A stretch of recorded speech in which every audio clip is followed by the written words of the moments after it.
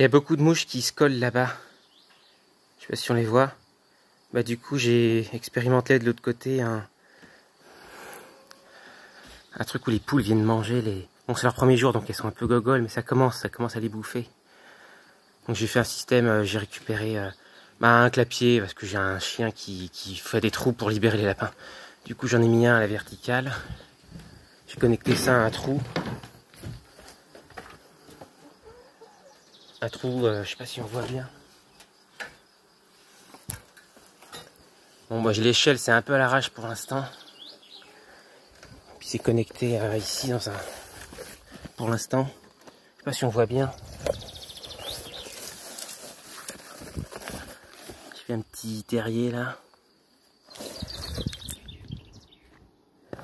Bon voilà. Parce que j'ai des problèmes de production d'œufs là qui sont pas terribles et puis des bah, je suis pas autonome en graines en fait. Donc euh, je profite de cette abondance de mouches tous les matins qui narguent depuis un certain temps. Comparé à mes galères de, pour me procurer du paracis ou des graines chères, la solution est devant mon nez. C'est comme les pommes de terre, je me mets à les planter à côté d'un ruisseau. Ça évite d'arroser.